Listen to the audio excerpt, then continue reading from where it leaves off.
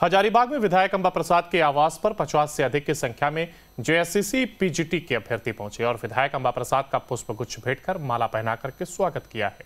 अभ्यर्थियों का कहना है कि जेएसएससी पीजीटी के कुछ पेपर का परिणाम लंबित था, जिस समस्या को लेकर के उन्होंने विधायक अंबा प्रसाद से मुलाकात की और मदद भी मांगी थी। अभ्यर्थियों का कहना था कि विधायक ने अपने विधानसभा क्षेत्र के न होने के बावजूद भी उनकी समस्याओं को सुना और इसके लिए जेएसएससी और मंत्रालय में बात की है। हम लोगों की मुलाकात भी करवाई और आज इसी का परिणाम है कि इनका रिज़ल्ट प्रकाशित हो गया है और कल से काउंसलिंग भी शुरू हो जाएगी।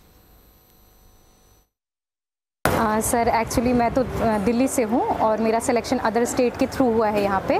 तो मैं तो मतलब ग्रुप में इन सभी साथियों के साथ जुड़ी ही थी और लगातार सब मैं देखती थी क्योंकि हमारे पास फ़ोटो और आपके न्यूज़ के चैनल से भी और मैडम का जब मैं सारे अपडेट हमें मिलते थे और ये बताते थे कि हम जाते हैं और मैं फ़ोटो भी देखती थी मैम की हमेशा फ़ोटो वीडियोज़ आ रहे हैं और उसमें देखती थी कि मैम हमारी समस्याओं को मंत्री जितने भी मिनिस्टर हैं उनके पास लेकर जाती थी और मैडम ने इतना ट्रिमेंडस जॉब मतलब किया है मतलब मैं बता नहीं सकती कि हम इतने आभारी हैं मैम के और हमेशा रहेंगे। सितंबर माह में और उसके बाद एक लंबे समय तक हम लोग का रिज़ल्ट प्रकाशन नहीं हो रहा था। मैडम के पास हम लोग जनवरी के महीने में आए हुए थे।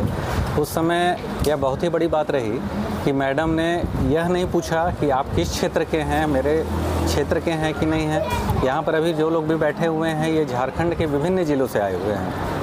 मैडम ने इस बात को नहीं देखा कि ये मेरे क्षेत्र से हैं कि नहीं हैं। और एकदम निस्वार्थ भाव से मैडम के द्वारा ये हम लोगों को कॉपरेट किया गया।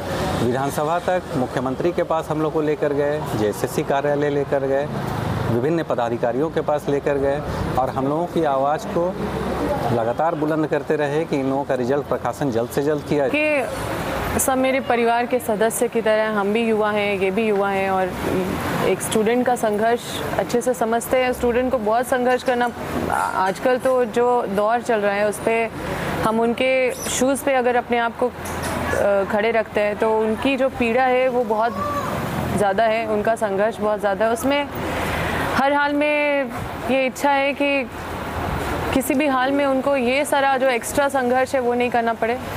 हमने कोई बहुत बड़ा काम नहीं किया है। हम बस इनकी आवाज़ बने हैं, इनको जगह तक पहुँचाने का प्रेशर डालने का काम किए हैं। माननीय मुख्यमंत्री जी से अनुरोध किए हैं विधानसभा हो यहाँ मतलब हर जगह पे इनकी बातों को पहुँचाने का काम किया है।